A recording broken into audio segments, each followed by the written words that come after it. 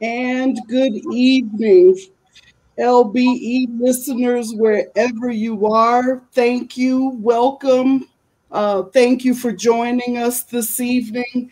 I know every time we bring it to you, we always come to you with this is a special broadcast. They all are very special, and this evening is no different. Sister Khara, how are you? I am doing well. I'm doing well. How about yourself? Good, thank you. It's good to see you on the screen um, in the in the studio. Uh, tonight we're talking about growing up Flagstaff, the South Side, uh, which is a very uh, distinct and unique uh, area of our beloved city.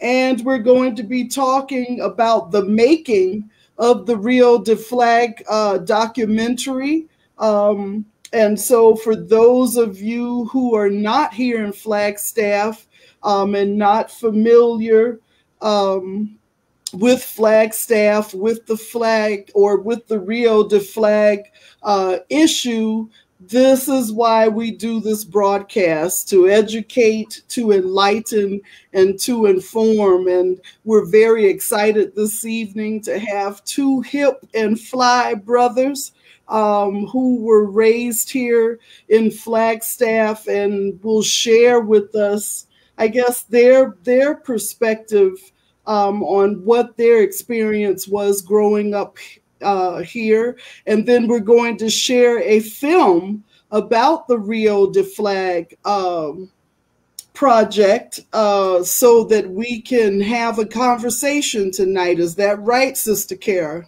That is right. Well, right on. I got it right.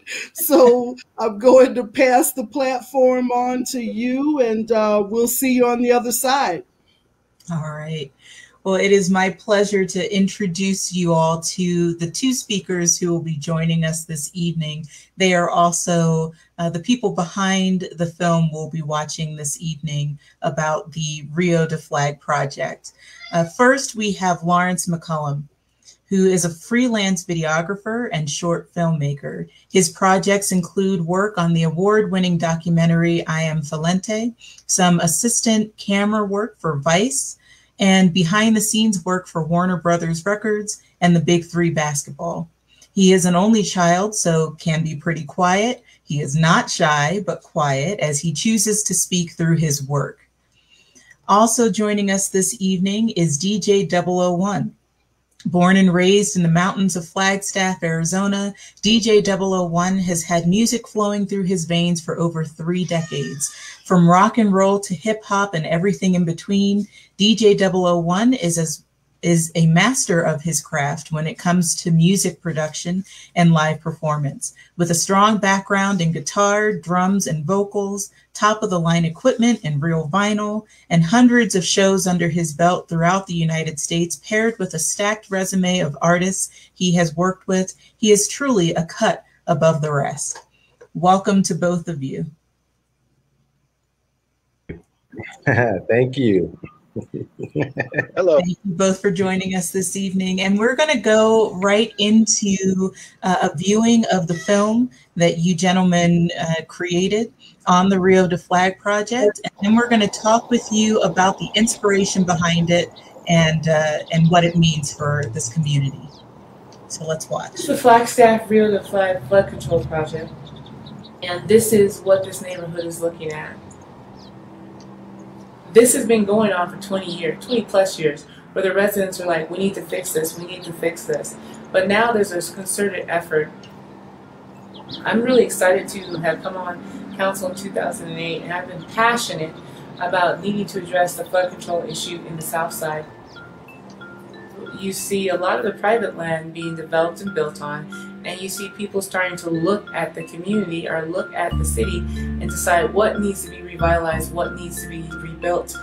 Just so happens the South Side neighborhood that really was an afterthought now has some of the most valuable property in the city.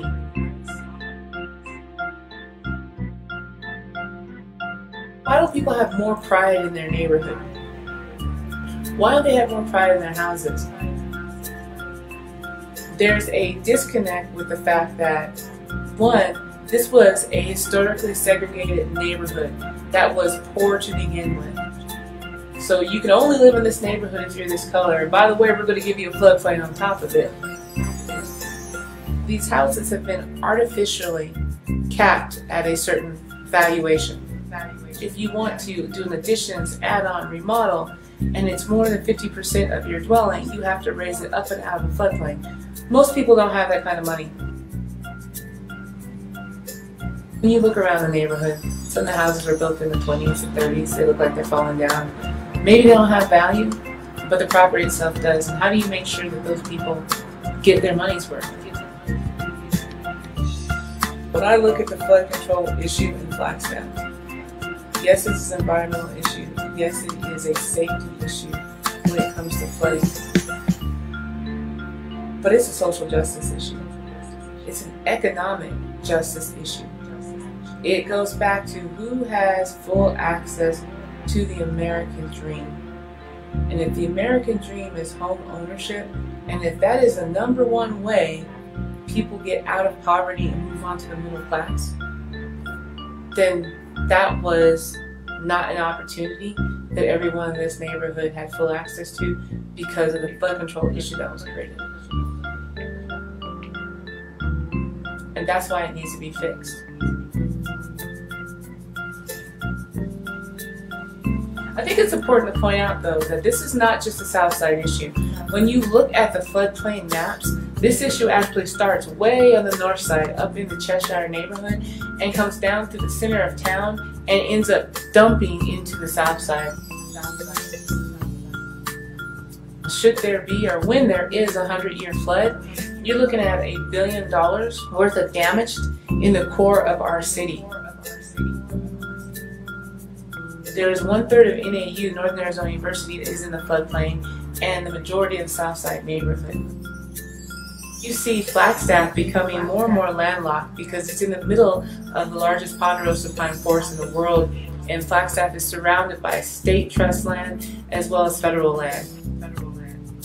And now, really, the reason why we're so interested in it is because you have this desirable place all of a sudden to live right between the heart of downtown and Northern Arizona University, and you have this 10 block radius, this neighborhood, where any place else in the country, the homes in this neighborhood would be worth at least a half a million, if not more.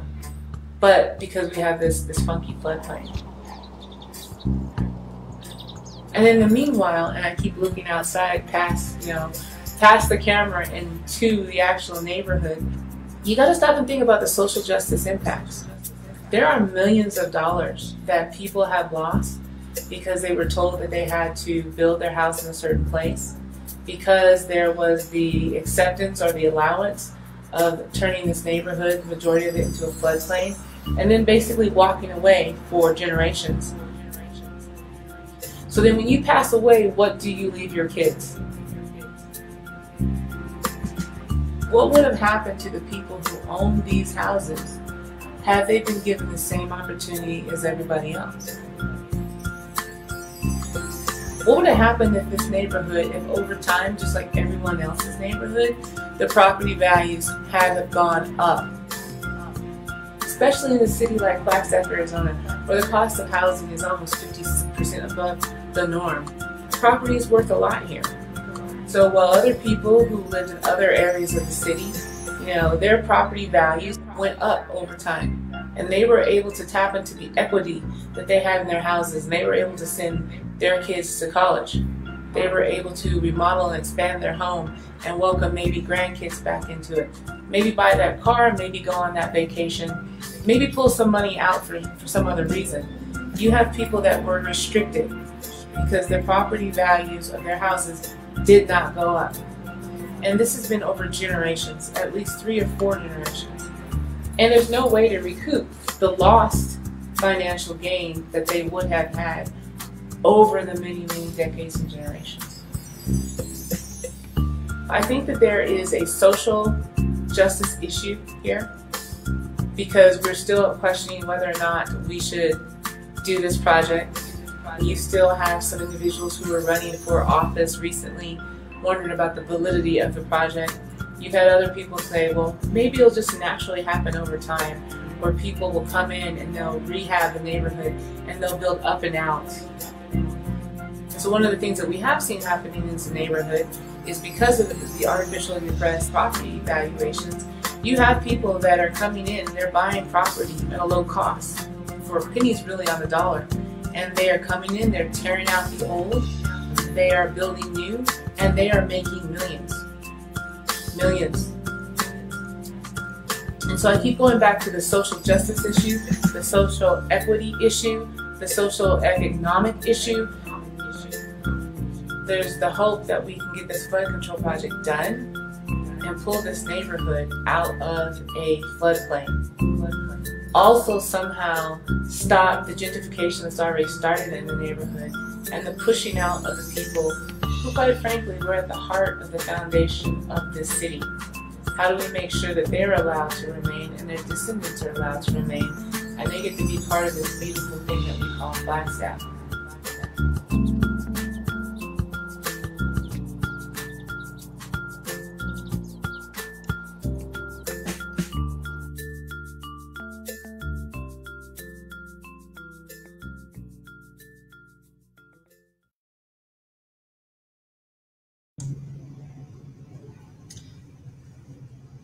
So that's obviously a, a very powerful film, giving us an introduction to um, and telling us the story of the Rio de Flag project. So, first of all, thank you both for the work that you did in putting that film together and in, in telling this important story. Um, I want to start our conversation tonight by just talking a little bit about your individual stories and, and uh, what it was like for each of you growing up in Flagstaff. So, just to start us off, if you can just tell us uh, what it was like for each of you growing up in Flagstaff, growing up as native sons of Flagstaff. Lawrence, we can start with you. Uh, growing up in Flagstaff, um, it was different.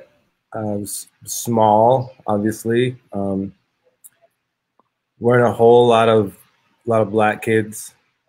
Um, so it was, it was, I don't know. It's, it's, it's a small town. Um,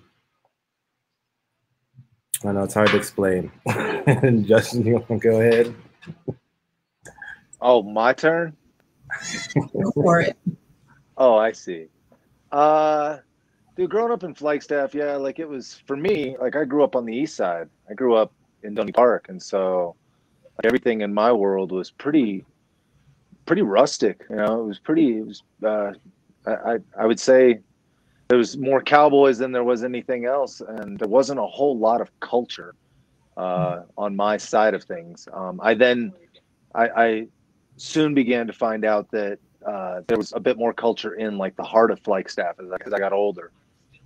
You know uh, i'm sorry i'm like experiencing some craziness right now uh, uh, but there was there was a lot of culture that I had found out was in like the heart of Flagstaff, and that was sort of um, as I got older in the 90s, 2000s, we started to really realize that it was like um, sort of a melding pot, you know, because all I really understood was the Native American culture and the cowboy redneck culture that was sort of the East Side.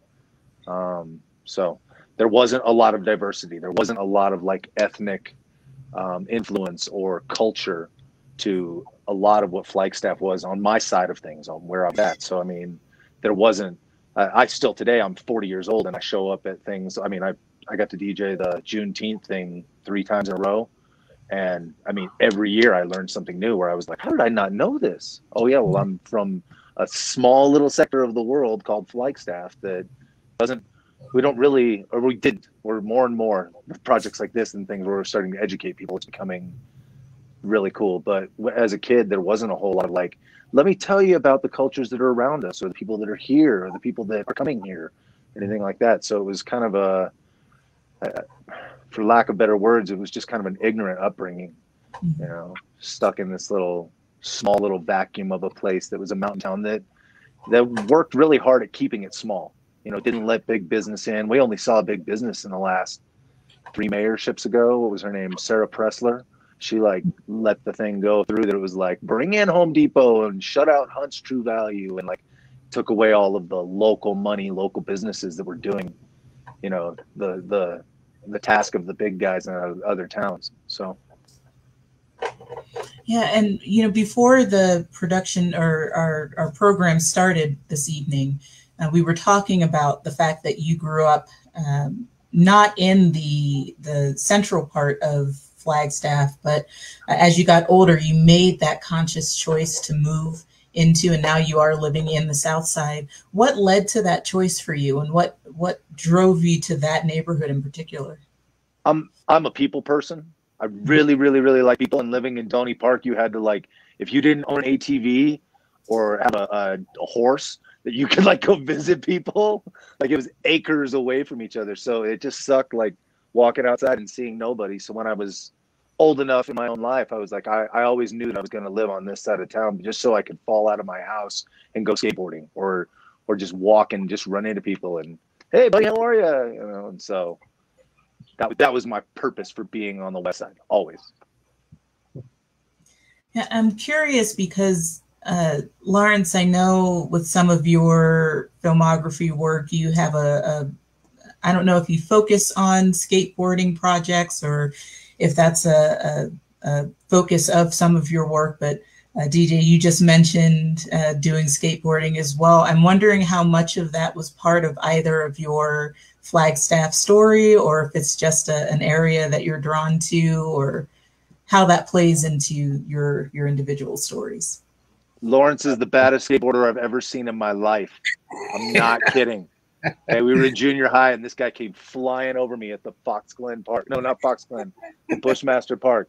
I'm not kidding, dude. The baddest skateboarder I've ever seen in my life. I don't know, I've been skating for a long time, and so skating watching skate videos years and years and years, hours and hours and hours of skate videos. Then finally, I was like, I think I want to make my own, and so that's what kind of stemmed all of my video work was all from watching skateboarding videos. so that's awesome. Uh, what were some of your favorite things about growing up in Flagstaff? I know Lawrence, you said that it was it was different because of some of the the lack of cultural exposure, but um, what were things that I mean, what were significant things that that meant a lot to you as growing up as a native of of Flagstaff? Um, being on campus was actually really good for me. I feel growing up just because I was around older older people pretty much my entire life, and so it it kind of shaped and molded me, and it's probably why I'm so quiet, just because I've I've always been around adults, and so I just never talked, and so. Um, but being around adults, I, I feel, and being on campus, I kind of I wouldn't say grew up faster, but I was just kind of more aware of what was going on and um, having a mom that worked for the campus at the time, I was I was always, you know, what, what's this about? What's that about? And she'd come home and tell me this and tell me that. And so I, I always felt like I was kind of ahead of the game in a way. And so I don't know, just growing up, I guess just growing up on campus in a small town for me was good. Um, if that makes any sense at all. Absolutely. How about you, DJ? I'm sorry, I'm glitching really hard here. I didn't know if he was. Uh, uh, the best parts of Flagstaff for growing up, I didn't know anything about them I, I, until I was an adult, and I look back at it now, and the best parts were the summers that were really short, but they were beautiful, and the the the season changes that happen every single year. You know, I lived in Phoenix for ten years when I first got out of high school, and it was it was nice because it was a concrete jungle again. All back to the skateboarding, like I could just like skate anywhere, just go do something, and and there was always some endless sidewalk to make things happen. But up here, the the seasons really were the best part of growing up. You know, skateboarding in the summertime and having just that isolated time. I only had a few weeks really that you could like get in some good skating or having a good time with your friends and just hanging out and not having to worry about anything. And so, snowball fights in the winter, it was rad. it was. At the, I was, high I was a jerk, but whatever, you know. Did you say ice snow, Lawrence? No, I said at high school. That's junior high. yeah, dude. A lot of snowball fights in high school. Snowball fights. Well, let's talk about uh, where you both draw your inspiration, and especially when it comes to telling Flagstaff stories and uh, painting the picture that you guys did in this documentary with uh, visual and auditory pictures of of this particular community. Where did you get the inspiration for the project? Where do you draw your inspiration for the uh, the other work that you do? Um, the inspiration from the project. I always just, I don't know, growing up, I guess in, in the South Side or in the South Side area, I had a bunch of friends who, who lived there. And, and so I'm, I'm fond of the area. And I always, it's not that I feel bad, but it's always just like I feel like it needs to change and I feel like something needs to happen. And, and if I can use my craft or my tool or trade or whatever to put something out there that'll maybe persuade someone or get in the right eyes of someone and tell a story, then I'm I'm all for it. And I I just feel like the South Side just it's one of those stories that needs to someone needs to see it. And someone needs to say something and speak up and help out. And so that's that's kind of where I stand on on a lot of my films and issues. All right. Inspiration for the musical side of it was I just watched. Uh, I watched what Lawrence had sent me a couple times. I told him before, long before, I was like, "Oh man, I want to, I want to score something for you. Like you, you can use a lot of like the musical compositions and beats that I make, you know, for your for, for skate videos and the things that you make. But I'd like to like make something to what you are making. Um, and so watching it a couple times through, I was as a music nerd, you go, oh man, well, like big strings like makes things kind of somber and makes people like really kind of focus in and pay attention to things. But you also need some sort of a like motivator tinker. And I, I listen to a lot of lo-fi beats, and there's just like little things inside of it that are like these.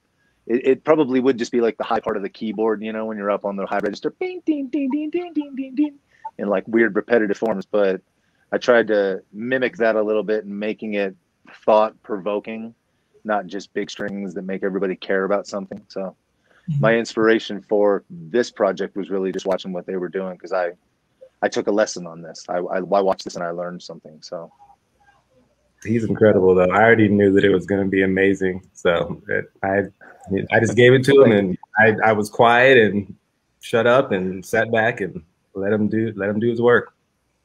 thank you. It, it was fun. I, I'm glad I got to.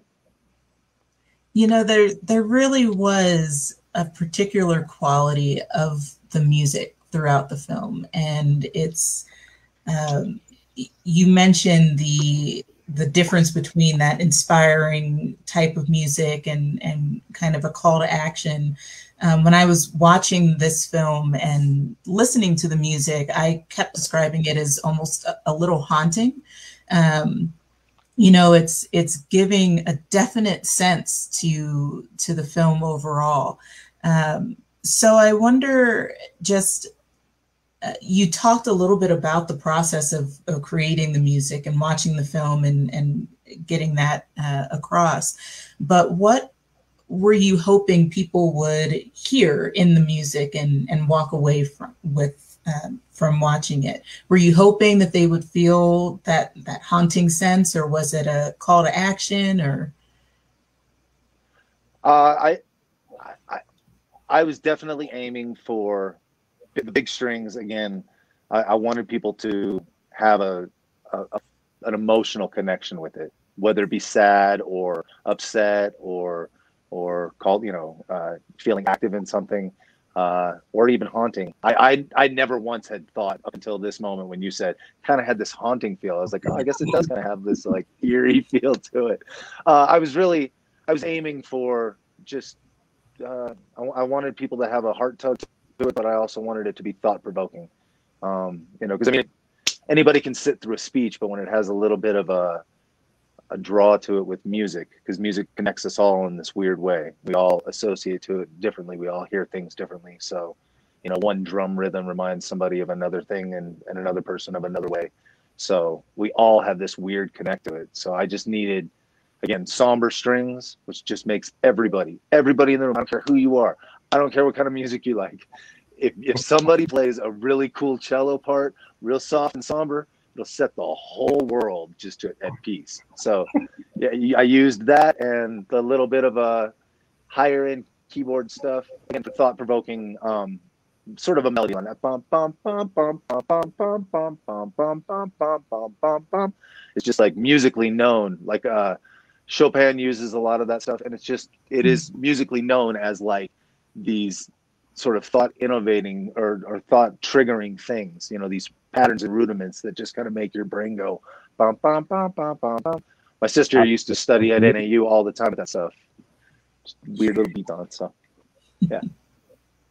Cool. Which is why hip hop works because they just use tight little things that are like wah wah wah wah wah wah wah wah, put a huge drum underneath it. And now we're singing things like "All the girls in the room do the." I'm sorry. That's great. Uh, well, I can tell you the film definitely has impact. We're I'm looking at the comments that are going on as we're having this conversation, and uh, one of the comments was just from uh, Jenny Marie Duran. Uh, and she says, as a proud Southside girl, thank you for this. So it's it's definitely something that people uh, want to see and needed to hear.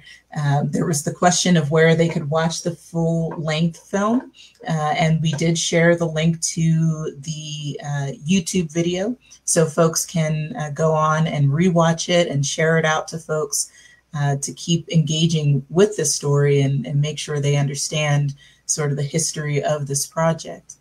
Um, I want to talk about. Um, I, I, know, Lawrence, you said that you were uh, kind of asked to uh, participate in telling this story. Um, but obviously, it's it's a the Rio de Flag project is something that, as the film points out, it's been going on for decades. Um, and I'm curious as to uh, the timing of this film coming out um, and just why, for both of you, the telling of this story is so important. Like, why why do people need to understand some of these historical things that are going into this project and understand the the broader implications of what this project means? Justin. oh, that's the handoff, huh? Okay. gotcha, man. Gotcha. No, um, go ahead. I'll, I'll go. Um, well, the first video that I did was uh, was on was the Southside Southside Soul Stories. Or there's there's two that I did, but was the Southside Rio de Flag story, and that was just kind of an, um, an overlay, I guess, of of the South Side and kind of what it was and what it's about. It was kind of a brief, short, short story. And so I decided to come back and do this because I came back and I, and I was shooting and I was like, well, maybe there's maybe something's changed. Maybe maybe the the community is is, is getting better. And I looked around and, and it's still the same. And it, it kind of blew me away that it really hadn't changed. Like time stood still. And so and with I mean with all the protesting going on and all the and I guess the activism and whatnot, I just felt like it was time for me to come back and and and tell the story and try and do it in a way that that was that was powerful, but at the same time was was, was still kind of soft and, and wasn't wasn't wasn't too hardcore. And so, and, and, and I'm used to Flagstaff. I mean, I was, I was born here. I'm not born here, but I was raised here, you know, and, and so it there's there's a there's a I've I've got a got a heart for for the South Side community and for Flagstaff, and so I try to use my stories to try and enlighten. That's great. Yeah. I I just want to see Flagstaff be awesome, and I can't hmm. believe that the there is this it, watching the thing and then looking around. Yeah, there this is a social justice issue. Like, come on, like like for real, where there's not anybody from the park that has an investment in any of this property over here, and why is that? Like, why has nobody come in and, and helped build any of this up? Oh well, because you think or you were told that it was a a floodplain area or that there could be destructive damage and like catastrophic damage to anything that'll be there like why why can't we help pull all of that up and out of this you know like why are why is the city of flagstaff okay with just being like yeah and that's kind of like that area you know it is what it is like yeah that's wrong like like this place is right. awesome like let's be awesome all the way across the board like this place is beautiful in all the places like why would we not make everything beautiful and build smart and be I don't know, like engineer things the way it's supposed to be so that ravines run where the, the ravines are supposed to run and there's emergency drainage for all of the things. Like, like we're smart people. Like, why have we not put things into all of this? Like, so. Yeah. frustrating for me at least. Yeah, well, and the audience agrees with you guys there as well. You know, there was uh, an early comment as the film was just starting. I'm trying to find it now uh, from Janelle Rohde, who said, We gathered five bags of trash from the Rio last week on the South Side. I'm a proud resident of the South Side and would love to see further revitalization minus gentrification.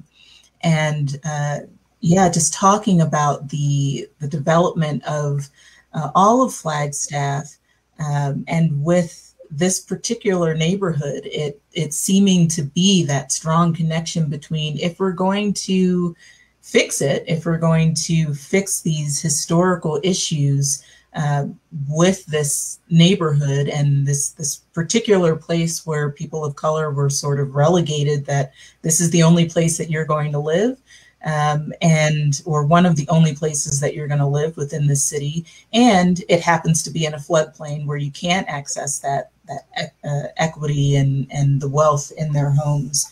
Um, to see that shift in you know the the development of it, but at the cost of gentrification and, and the folks who have lived there for generations.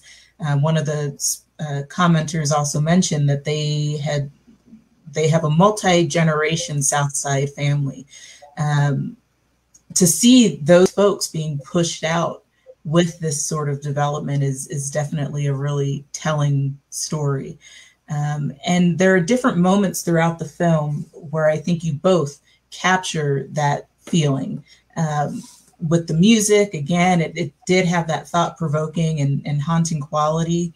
Uh, there was also a moment, Lawrence, where um, Mayor Evans was talking about the, um, she was discussing gentrification and the development of wealth where people were coming in and able to buy property uh, cheap and then make millions uh, uh, off of it. And while she's having that discussion, you were focused in on some of the buildings that were in uh, sort of dilapidated states. And I wonder how intentional was that for you and, having that juxtaposition? I was intentional. Everything that I do is very there's there's a reason for everything. But um yeah, it's huge buildings and coming in and making all kinds of money and it's it's just not I just looked at it and just like this is just so not right. It's not right, it's not fair, it's unjust and it just it bugs you, you know. It, it and if it doesn't, it should, you know. And so I I shot I shot actually a lot of footage of those buildings. I didn't use as much as should have, but I shot quite a bit, and it just it, it there was just something about the, gentrification and the and the coming in and just destroying and moving people out that it was just it, it, it got to me, and so that I definitely had to make sure that people saw that there were huge buildings coming in. and People are just banking on it. And it's not right. I wonder for you, uh, DJ, and living in the community and, and living in the South Side, um, how you see that happening around you. Is it something that you're aware of that's that's happening on kind of a constant uh, basis, or is it something that kind of falls through the cracks of public awareness? How does that work for you? Uh, no, I mean we we definitely see the, ch- the change, the shift in paradigm. It's it's it's kind of unreal, and it it a lot of the people that I know that live in this area still uh, kind of are like this feels like a little Portland. You know, it's mm-hmm. becoming, um, and I mean, in my world, everybody's welcome, so I don't care what you are, how it goes. But there seems to be a larger homosexual community that's moving in, and uh, I I know a couple houses that have been bought by people from the Bay Area that were kind of tired of what they're going through up in the Bay Area, and they said Flagstaff is where they're coming. And one one couple, a, a gay male couple, was like, "Why did why did you guys choose Flagstaff?" And they said, "We just Googled good places, and this is one of the places that came up. So we traveled here, worked it out. You know, it took them two year process to find a place where they wanted to live, and they ended up buying here, and and probably got it like Coral said for pennies on the dollar, and for them. And so, I mean, it's it's very, I see it happening, um, and there's a piece of it that's sad because there's there's some places where I skate through or I walk through with my kids now, and I'm like, oh, this is nothing like what it used to be. Like you kids are not gonna are not gonna grow up in the same town that I grew up in. And there's no way. Um, you know, big, huge almost skyscrapers compared to like the rescue mission downtown. It's like, dude, this this thing towers over what was the biggest building downtown. So uh, it's it's sad for me really because I wanted to raise my kids in the same small town uh, that I was raised in, uh, but at the same time, it's it's kind of cool to see structure go up. I'm an architect freak, so I like to see big huge things happen when NAU started like doing all the special stuff off the Union and whatever. It was like, what is going on here? So uh, it's cool to see some of the bigger structures going up and like the newer designs that they're using for architecture and building and whatever. But it's really taking heart of what this place is out of it. So oh, I mean, it's, it's a it's a give and a take, but we definitely see it. Every day something's different, man. Every day they're moving a guardrail to install some next piece to the road or whatever, and so. So yeah. It, you know, it's it's really interesting how you describe both the changing that you're seeing happening, and at one point, uh, one or both of you made reference to when it comes to the South Side, uh, it being like time stood still uh, when it came to the the development or the ability of folks to um, to repair their homes or to develop uh, the community themselves maybe.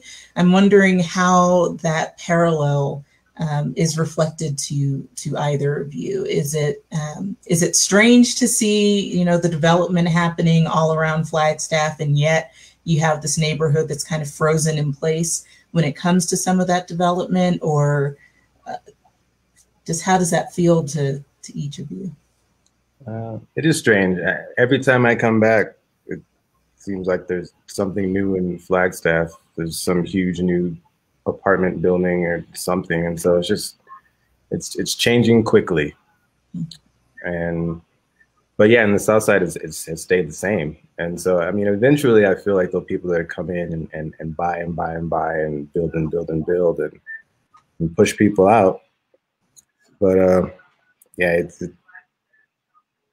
it, everything is just changing since well since when I was a little kid, you know, growing up here, the South Side, everything around the South Side has changed, except for a few things here and there, and it's it's strange very strange. Yeah, I agree. That it's it's just weird. It's it's just weird. it, it is, and there's a, there's pieces of it that I'm like, oh, cool, man, this will be nice or whatever. But it is strange how there isn't, and not strange. I mean, this is what we're talking about. This is the topic. Like, it's it's it's just how how are we leaving that whole area just completely untouched, like, oh well, we'll work out or whatever. Like, no, you won't work it out. Like, let's get in there. Let's let's help those people build some stuff. Let's like readjust the equity for their property so that they mm-hmm. can afford to do the upgrades for what they need and to engineer and build architecture up and out away from all of that so that there is cool homes for the people that live there for people that have multi-generation families there you know like you got four, five, six generations of families that have lived in Flagstaff in that area. Like, let's help them make it dope. I mean, it's, it's that simple, man. Sorry. Yeah, I'm I'm curious because uh, like Lawrence, you mentioned that you weren't born here, but you were raised here. Um, and I know that you've you've moved away, but you you often come back for projects like this. Um, and DJ 001, you mentioned having you know grown up outside of the Southside neighborhood and making that choice to to come into the kind of heart of the community. So for both of you, I'm wondering what is the draw of of the South Side in community, or in particular, um, what is the thing that keeps bringing you back uh, to this particular neighborhood, or, or uh, Lawrence, in your case, just back to Flagstaff? Um, just years and years of riding my bike and skateboarding through the South Side and staying out late and getting in trouble and all the fun stuff of growing up, of being a youth, you know, growing up in a small, small town. And then, and so, so uh, there's like a piece of me that I spend so much time on the South Side, can't even hours, uh, years and years, just skating and playing. And all my friends live there. And so there's just like a piece of it that I, I feel it's, it's like it's in me, you know, it's, I, feel like, you know, piece of the South Side is always with me. Even though I live in LA now, I, I always come back and I always go to the South Side. I always want to know what's going on. Um, Coral's always, you know, telling me this is going on, this is going on, and so I'm just like, that's not right. This is kind of cool. That's not right, you know. And, and so it's just something that's it's like a magnetic field. It just uh, just keeps pulling me back. It's something that keeps pulling me back. And so every time I come back, I'm I'm always curious as to what's going on and if I can have time, if I have time, and, and if I can, if I can shoot something and and try and put something out there in the world that someone can see, and hopefully some change can happen, then I'm all for it. And and and I and I, our cameras pulled out, and, and I'm ready to go. And so it, it's and it's just that area. I don't really care too much about the rest, but Southside is just awesome. It should stay awesome. Hey, mom lives here. Yeah, yeah. I mean, the thing that keeps drawing me back to this area, I mean, of Flagstaff, because I was born on the other side of, I mean, I was born at Flagstaff Medical Center. So, I mean, I was like here, but then they took me to the east side and raised me in Doney Park. Uh, but there's, so, okay, I'll tell you guys the truth. On the corner of San Francisco and Franklin, that would be the, uh, the northeast corner. Um, I dug a 25 foot hole and I buried about 10 grand in gold. And I just keep coming back and checking on that little lot because I know one day somebody's going to try. I'm just kidding. There's no gold at that lot. Nobody's digging up No, we just lost people, our audience is going to that lot to try and find that gold. and everybody's like, Dana. I'm sorry no, it's it's it's. I was about people, to interrupt. I was about to end the broadcast. there go. I'm sorry. It's this right here. It's it's the people, man. This is what I'm talking about. Like this is, you know, I've had more great experiences with the people of the South Side Flagstaff than I've had of anybody else that I hang out with. All the church folk or everywhere that I go with all the things. Like I have more genuine experiences right here next to NAU and up into the downtown area with locals, with the people that live here. And so that's that's why I wanted to be here because I love this place. That's awesome. And you know, Lawrence, there is again, there's just... no gold. we had the question. Somebody asked in the comments, "What's up with that lot, though?" What's that lot, though? it's like 25 feet deep. Let's see. Uh, but uh, Lawrence, with the film, you know, right towards the end, there's a really beautiful image when when it's talking about the need to preserve this community because it's a place for for family and that sense of community. There's the image of a parent and child walking down one of those streets together. And again, it's just such a powerful, powerful image of the community. Um, and there's a segment of the film that talks about the story of the South Side as the story of Flagstaff. Um, so I'm wondering how you both see that in your own stories, um, and and do you see yourselves as stewards of that story, um, needing to preserve that that historical view, or or just uh, to tell the story of the South Side in the work that you guys do locally? Ooh. Justin, um, well, I mean, yes, that, I'm, I'm interested in preserving. Go ahead. I was gonna say, I mean, the, the last image that, that I that I used with the, the the two people walking, they were holding hands.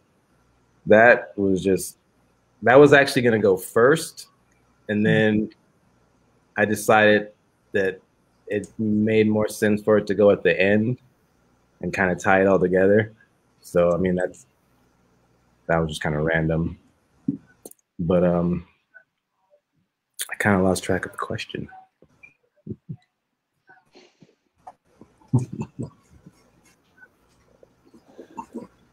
Is that a, can I get a repeat on the question? Can I get a repeat? That's the question again.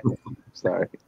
Yeah, yeah. It was just uh, uh, how you see yourselves as as living out the story of of the South Side or of Flagstaff, and how you see yourself as kind of stewards of that story um, as it's developing.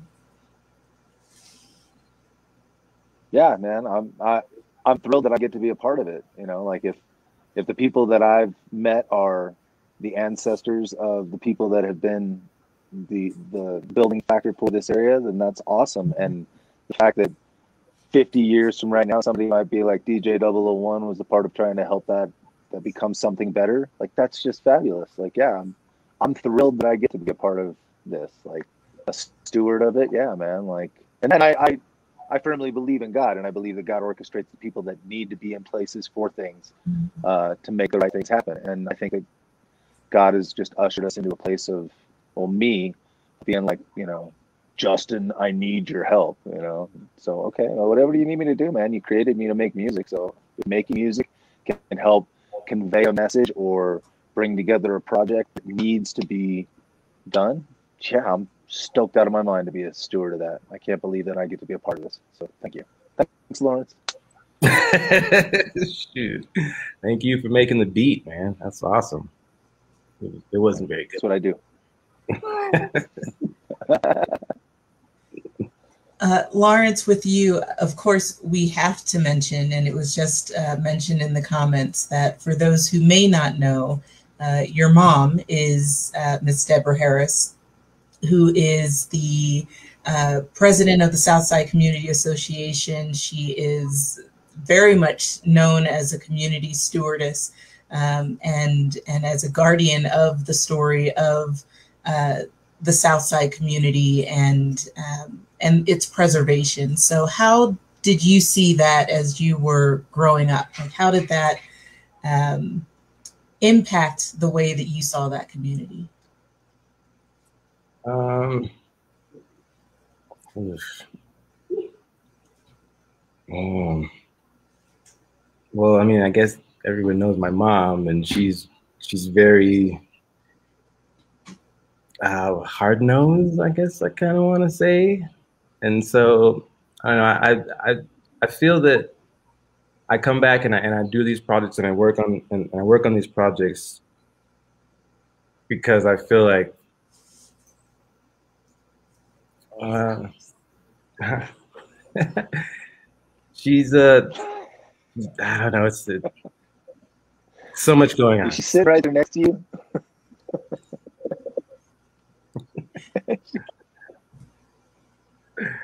I don't know.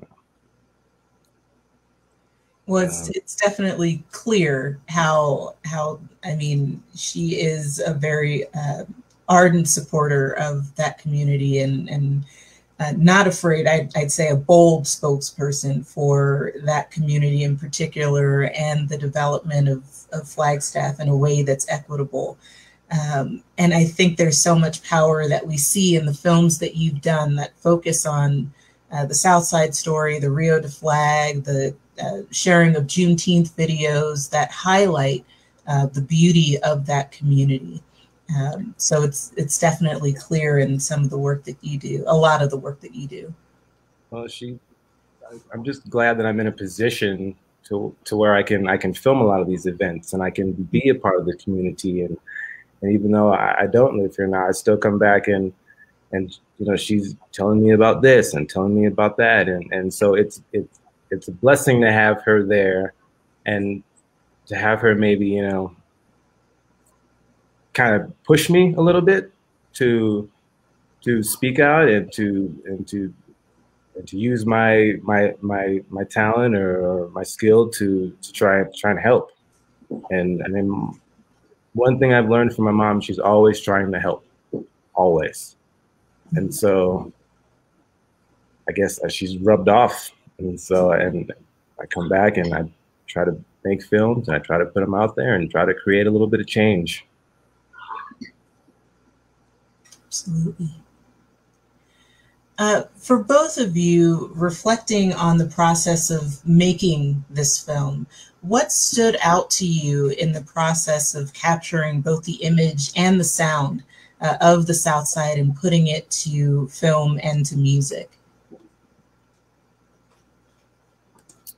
Um, well, I mean, I, I started making the doc and first thing I was like, hey, music, music, what am I gonna do? And I was thinking maybe I'll just get a beat, maybe I'll just get a couple of instrumentals. And then, you know, I remember Justin was like, yo, you, if you ever do anything, you, have gotta, you've gotta let me score something. And so I was like, oh, okay, okay, you know, and, so, and, and, and he lives in the South Side and knows about it, and he's a Flagstaff local. And so, you know, my mom's like, you, you got, you got, you got to go, got to go with him, you know. And and so uh, I mean, he made an amazing, amazing instrumental for it, scored. Couldn't be more happier with the job that he did. I'm like, like I said, I, I just sent him the, I sent him the video with minimum sound, and he just created masterpiece. And so it was, it was, it was. I, I got lucky as a, as a filmmaker. I got lucky. Uh, man, I got your back all the time. You just tell me what you want. No problem. Every time. you just send it over. But no, it was, yeah. Uh, the inspiration for any of it was that it just was, it, it, was this very serious project. You know, there's a lot of stuff that we do that's not so serious. You know, Lawrence, he produced the documentary for my group and, and there's other things we put together. There's skate videos and stuff that, I mean, it's, it's big business for somebody who's doing it, but at the, at the core of all of it, it's, it's, it's, I mean, it's not, anything huge or professional, and there's not anything deep to it. And you can make people feel a little bit with music on some stuff, but at the end of the day, it's just a guy landing a kickflip or whatever. It's just some guys rapping. So, uh, but but this it had an essence of urgency and an essence of, of importance that really uh, was it, it, was kind of easy once I watched it a few times to be like, mm-hmm. okay, this is guaranteed where I'm going with this. Like we're going with the somber uh, emotional strings that'll draw them in, and some thought provoking high end, uh, real tight drums that almost feel jazz influenced or whatever. And that that was probably uh, artistically the trickiest part was like, how am I going to make drums that don't feel? Because I'm a hip hop producer, like everything that I put out, I feel like just kind of has this like boom tick to it. So um, I had to scale back a little bit and pull from some samples that were tighter jazz drums. Um, and, and put those in sort of sequences that wouldn't necessarily be a, a, song. You know, I was trying to like stretch it out over like certain parts where Coral was talking and then make sure that we cut that out uh, when it was a, a, different piece that, that moved us to the next thought or whatever. Um, so there was there was some nerdery that happened inside of there, you know, trying to just get it to have the right feel and not just like a, a phoned in oh man, here's a beat. Yep, just that's music. Yep, just filler for whatever people's ears need to hear. So.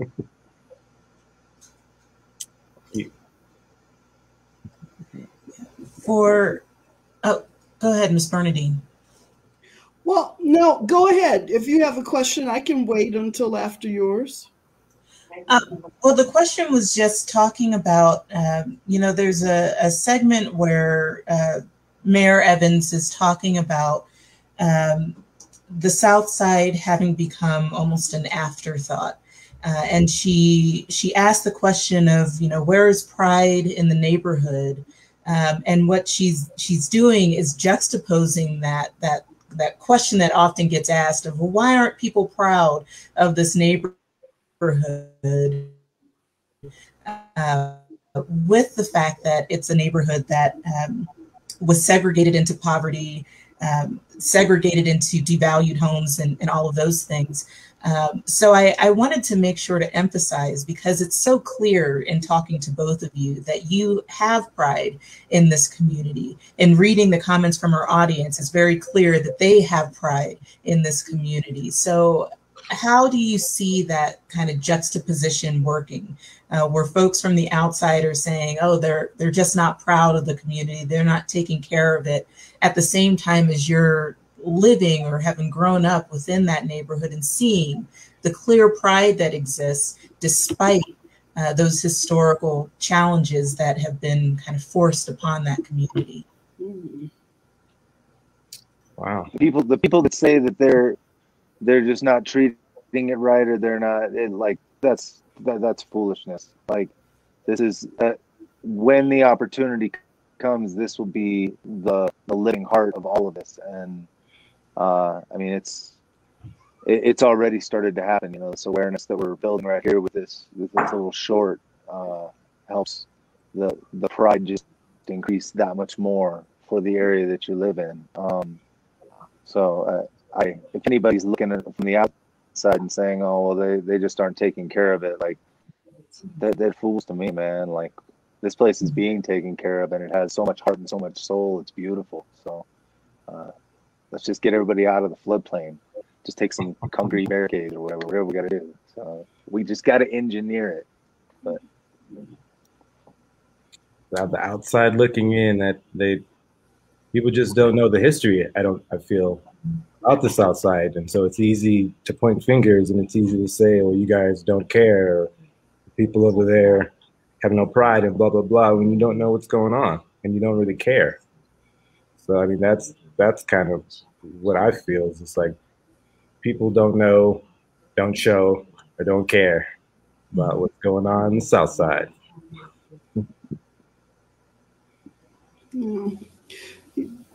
Sister Khara, I, I popped in because I, am watching this and I'm really enjoying this conversation. Um, I'm a Lewis, and and so I I, I popped in because I want to stir up a little good trouble um, about the Rio de Flag and about the the true meaning of why ethnic people would be placed um, in this particular area. Um, you know, everything we know in this system um, has been designed uh, with a master plan. And um, I, I, just, we need to put it out there for the record. And, and so I'm, I'm on here to ask my little brother, my little big brother, Lawrence. Um, and I'm going to, to, to ask my favorite DJ uh, a question as well. But Brother Lawrence, we need to put it on the record. Uh, it, it's no mistake that ethnic people would end up uh, in a floodplain, and and I really need you to speak to that this evening, please. Um, well, they were placed there, obviously.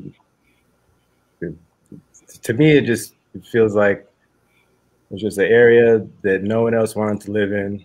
And so they're like, we'll just send all of them in that area and they can live there. And then like, and then, and then we'll, we'll route the flood or we'll route the river down through there because we don't care about them anyways. And so yeah, I mean, I feel like it, it, was it was designed. There was a reason why they were put there. There was a reason why it was built through there, because um, there were minority folks there, and people didn't give it. People don't care. People didn't care. And and this is why we have these conversations. And bless you, brother, because it was it, it, it's emotional and it, it's real. It was a struggle for yeah. you to even to speak on that. Um, you know, I mean, and and and but this is why we're doing this, right? To to put it out there. Um, yeah. You both of you have said it. A lot of people don't know, um, and so here we are gathered this evening in this space uh, to make people aware um, of the fact that this is definitely a social justice situation. And um but yet but yet as always when you find people of color placed in these spaces because flagstaff is not unique. We're not the the only city that has a problem where where people of color have been placed um, in un undesirable spaces. But yet it it usually every city that I've been to, uh, the ghetto, the the unsafe places are yet the most beautiful spaces because of the beautiful people, the souls that reside there, and and so you know, South Side is a space, a community of beautiful people. And so now to you, my favorite DJ, you know, we're we're looking at you and, and you're the only one on the screen. You don't look like us, but but you feel like us and your vibe is definitely us. And and I I think it's beautiful that you found I mean, just share with us what, and you you kind of, you've kind of touched on it. What happened to you? What happened to you when you left Doney Park and and came to the South Side community? I mean, what, what, you know, you kind of touched on it, and and I think it's beautiful, and I'd like you to go back and expound on that. Well, I, again, I was drawn to the west side of Flagstaff because I wanted to skateboard so it was easy to just like be downtown or whatever. But I mean, I grew up with Lawrence, um, so I'd run into him and be like, "Hey, what's up, man?" Uh, my friend Elijah Smith. I grew up with him, you know, and I was really drawn in uh, church stuff at the beginning. I'd come help with musicals at Riverside Church of God in Christ, and you know, come down to um, the little Baptist church down here. It's the name escapes me right now, but there was just all these kind of music things that always drew me in. And I mean, I I attend the Nazarene Church over on the east side, over in Foxglenn, have all my life. But every time it's been like gospel music or anything that's drawn me in as a musician or just as an attendant, it's always been at those two little buildings right here in the south side. So it was easy for me to be like, well, I've now met everybody through church and music and whatever. And uh, I mean, the love is just, it's just different. So, uh, coming from Doney Park where everything was so spread out and, and everybody is pretty segregated over there. I mean, everybody's pretty, this is my fence line, buddy, and, and you don't cross over into my thing, you know? And so it was, as growing up as a kid, I was kind of like, I don't, I don't want this for life, man. There's got to be something better as far as like people, um, you know, and I, I don't value structure or, or or or items or possessions. You know, I value my relationships with people and, and, the time I get to spend with people. And so it was way more fun coming to a potluck at Church of God in Christ down in the little basement area where there's chicken and all kinds of fruit and all every everything that I would want to eat, as opposed to the Nazarene church where I grew up, where it was like questionable if this green bean casserole was even going to be good for you. So uh, the people and the food drew me in. But I mean, it's uh, there's no denying that the culture that comes from the people of color that surround me is infecting. You know, it, I I want to be. I, I come from what is my culture? I couldn't tell you. I'm German, so I mean, I, I could I could tell you a little bit of that, and that kind of gets a little bleak in conversation. But there's something very uh, attractive about the people of color that are so rooted in the heritage and dance and music and art and everything that comes with that. Uh, and so I'm I'm I'm just blessed that I get to be welcomed into hanging out and being a part of the neighborhood. And I wouldn't have it any other way, man. The food is great, the music is awesome. So well, there you have it, uh, Madam Facilitator. I've, I've come, I've stirred up my trouble. We got it out there. Uh, South Side, you know, as always, the ethnic people are placed in these spaces to not thrive, and yet we do. And then we have our brother DJ to come in, and he found his soul. And um, and and there you have it. That that's all I needed to hear. And um, so I'm I'm out. Thank you. well, and, if I may, I want to actually kind of piggyback off of that question. Um, and the statement that you just made about you know valuing people and spending time with people over buildings uh, and part of what always strikes me with the Rio de Flag project is that it was a, a water channel that was deliberately channeled into this neighborhood. Um, and created this floodplain that then people of color were relegated into this area where they couldn't access the equity in their homes. They couldn't build generational wealth. Uh, because of these these hindrances again decades um, where it's an opportunity for flagstaff to kind of make uh, that situation at least partially right um, after all this time.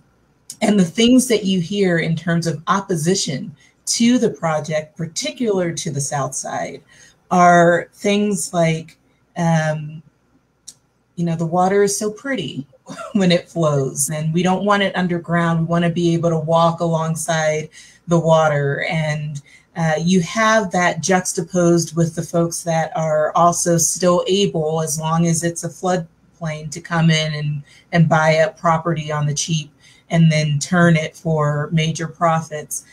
I'm just wondering how both of you respond to that sort of conflict um, when it's this opportunity to right this historic wrong and, and help the people of this particular neighborhood to flourish uh, against all of the things that were set up against them to ensure that they. How do you respond to folks that are, are valuing the ability to buy property cheap and the ability to essentially walk beside pretty water that's that's keeping people out of the equity of their own homes.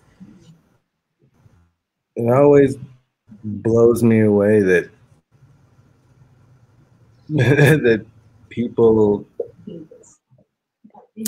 the people don't care about about neighborhoods like this. And it, it, blows me away that there's time after time city after city you just hear every neighborhood in these in these communities and and there's floodplains and there's this and there's that. And no one seems to care and nothing seems to happen. And the whole water walking along the water it's because they don't live in that area and so that's that's just kind of how i see it you know like from the outside looking in i guess it seems fine or you think that it seems fine or you want it to seem fine but it's not. And so uh, and then the gentrification i just feel like it's just people figuring out that there's cheap land and coming in and trying trying to trying to make money off of it and and it's at other people's expense and so I, I don't know I just I've, I've always just felt that it was wrong and it's it's it's unjust and it's just not right and it, yeah yeah I agree and uh, the response that I have to people that are coming in buying things for really cheap and selling them for a ridiculous amount. Um, I mean, it's just flat out unfair that we can't readjust the equity on that property for the people that own it, the families that have owned it for generations. And some of these families are becoming, I mean, down the line now they're they're hard for money as a family. So their option is to sell for pennies on the dollar to somebody who's going to flip it around and get the equity boost because they are realtors or they're a different ethnicity and they get a better deal. That's the wrong in this. Like that's the part that like let's just readjust equity for the people and families that own their properties and whatever so they can take loans out on stuff and make things better. Um so it's it's the gentrification it's it's not fair. It's not right, man. Like let's let's leave the people it's not happening the same way in Sunnyside, but it is starting to happen that way.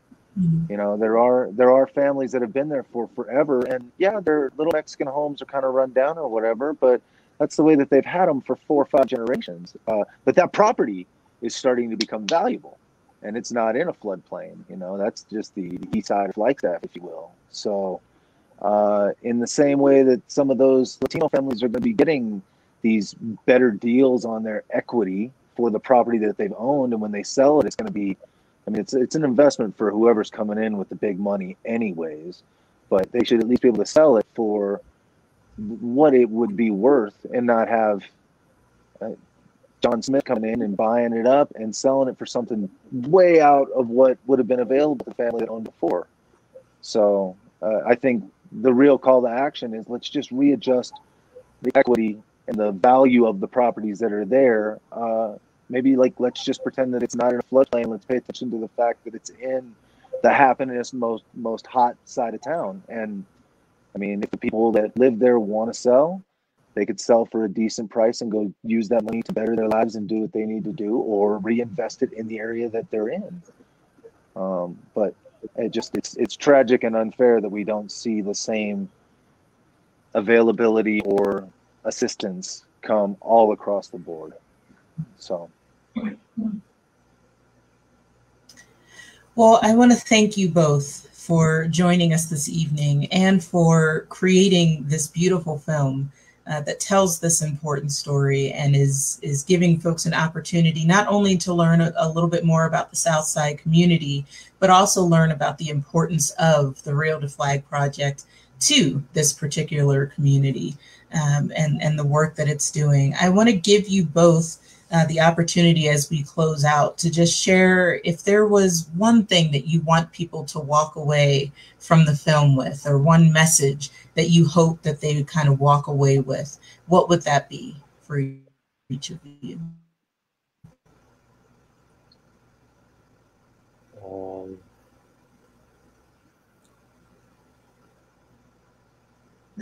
there's a lot.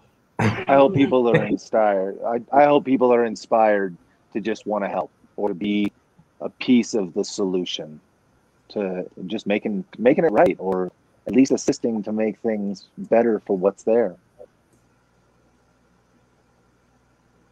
Um, yeah, I hope that people are inspired to to get out there and, and make change and to look a little bit more into the project and learn a little bit more about the history and uh,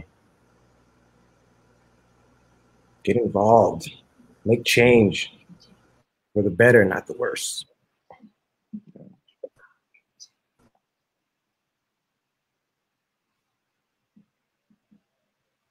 All right.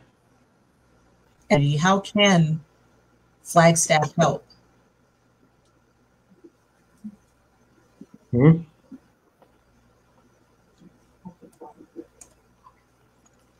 uh, just asking the question of how can Flagstaff help with this work that needs to happen? Speak up, speak out. Contact your congressmen, council people, mayors, all that, all the, all them folk. Email them, call them, text them, all of that.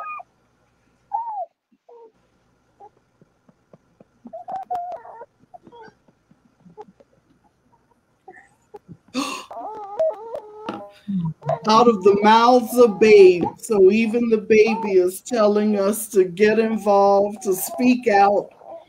And um, I like that because there, there you have the future in DJ's arms. And so I don't I don't believe in coincidences that this little one would would end up at as we begin to close the show. This is why we have to get involved and speak out and get on council, contact your council, become a part of council.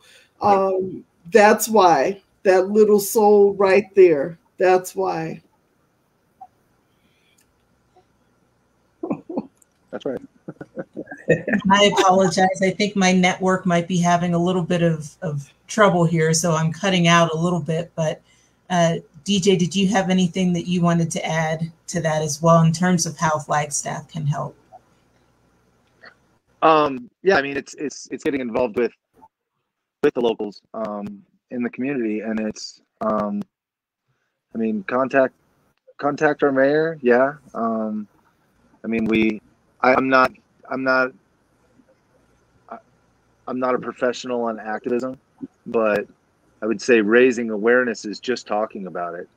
Um, you know, uh, if, if you are a realtor and you know somebody who's trying to sell or trying to, to buy something, if, if you have any influence on any sort of rates or percentages or anything like that, just do what's right. You know, if there's any if there's anybody who's got a hand in something that you can assist with it, do it. Help out. Like like do what's right. There's there's a lot of people out there who have some power and instead of doing what's right, they just kind of sit and watch their wallet get fat or however it works. But I mean, everybody knows what feels good and everybody knows what's right. Do that. So yeah, and just to highlight this comment from our audience as we wrap up this evening, um, Janelle Rody, we 100% agree with you, first of all, that that is an adorable baby, uh, but also in saying that change starts from within. Change starts small. Uh, it's so important generations uh, that are growing up in Flagstaff. And so, as we uh, close out this evening, we thank folks who are uh, joining us and uh, who have participated, who have uh, talked along with us, and uh, who are learning alongside us uh, in this work that we're doing. we invite you to rejoin us for an upcoming session on our archiving Black Voices with uh, Dr. Green. Uh, this presentation will talk about why it is important to preserve the stories of Black folk uh, in this country. And that presentation is coming up this Sunday, May 2nd at 2 p.m. Arizona Mountain Standard Time. The Live Black experience is dedicated to fully engaging the community in all aspects of the Live Black experience and facilitating community dialogues regarding it that lead to mutual understanding, respect, and reconciliation.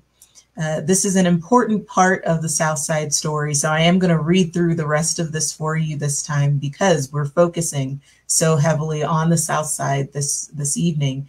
Uh, the Live Black Experience project is housed in the historic Murdoch Community Center, which is located on the site of the old Dunbar Elementary School in the Southside community.